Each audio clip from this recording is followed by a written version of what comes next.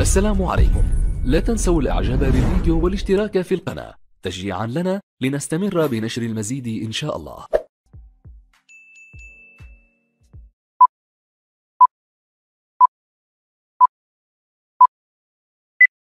مذيعة انتحرت قبل زفافها رسالة أخيرة لخطيبها تكشف سرا.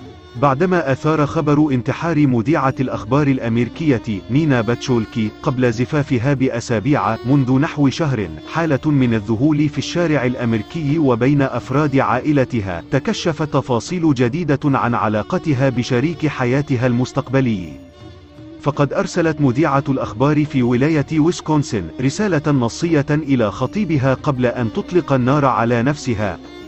ألم لا يحتمل وقبل أن تضغط على الزناد أرسلت الشابة البالغة من العمر 27 عاما رسالة إلى خطيبها كايل هاس قالت فيها أحبك يا كايل بالرغم مما فعلته بي آسفة لأنني سأفعل ما علي فعله ولكنني لا أستطيع تحمل الألم بعد الآن هذا وجاءت وفاة المذيعة الأمريكية قبل ست أسابيع فقط من زواجها من خطيبها كايل هاس وهو أب مطلق لطفلين يكبرها بأحد عشر عاما.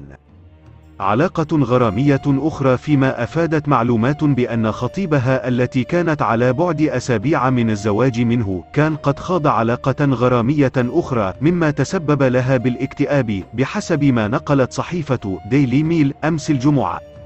كذلك أكدت التفاصيل أن علاقتهما على مدار عامين كانت مليئة بالمشاكل وتخللها الإدمان على الكحول مما أدى لتدهور حالة نينا النفسية.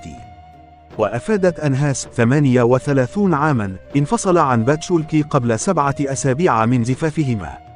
وكان سافر إلى مينيسوتا لزيارة والدته مع أطفاله من علاقة سابقة عندما تلقى الرسالة النصية المؤلمة.